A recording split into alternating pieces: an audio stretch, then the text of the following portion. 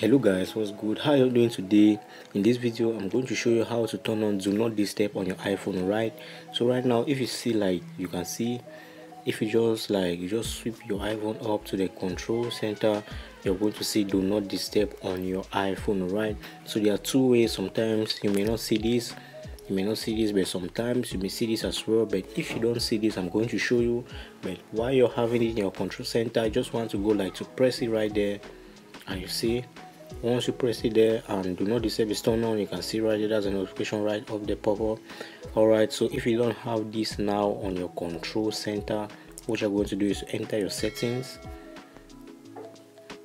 And once you're in your settings you want to come here like to control center. You see this is a control center and you come to customize controls.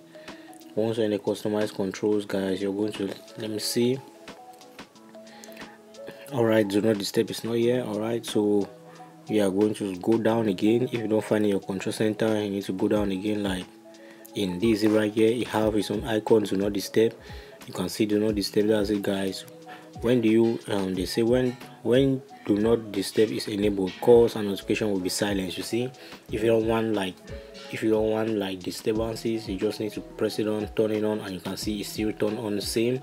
So this is how you turn on do not disturb on your iphone right i hope this video really helped um, subscribe to the channel because more videos will be dropping um, in the future. You know the channel i'm still trying to build. All right so thank you